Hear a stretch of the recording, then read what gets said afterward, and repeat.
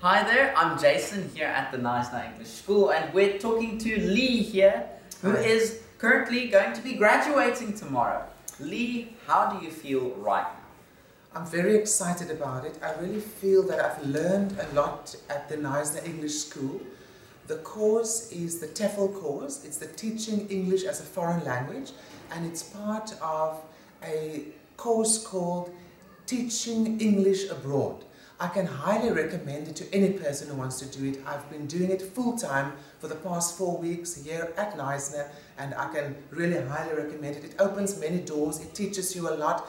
We did um, practical work, practical experience with from preschool right up to high school adults, even taught foreign students, even a little bit of online work, and I'm very excited about the opportunities that this course opens in the lives of myself and many others. Okay, that sounds awesome, Leigh. So what I hear is you feel equipped and you feel like you're empowered to actually access these opportunities. And how's your experience here with the people, with the dynamics of the school, with the staff? Um, how was that?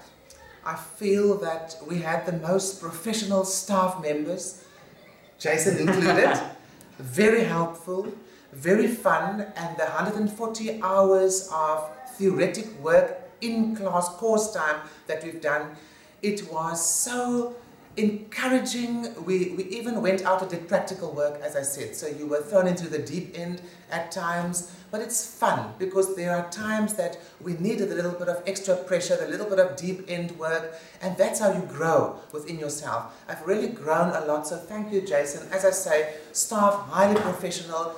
Um, I'll highly recommend this course to any person, not only specifically people who are planning to go and do TEFL or teach abroad, but just any person. It's a qualification that will help you in your career.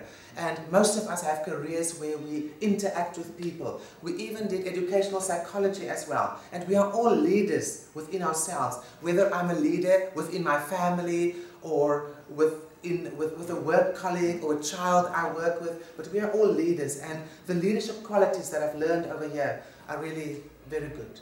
Okay, that sounds awesomely. I'm very excited for you, and thank you so much for taking the time to make this video with us. Thank you, Jason. Thanks.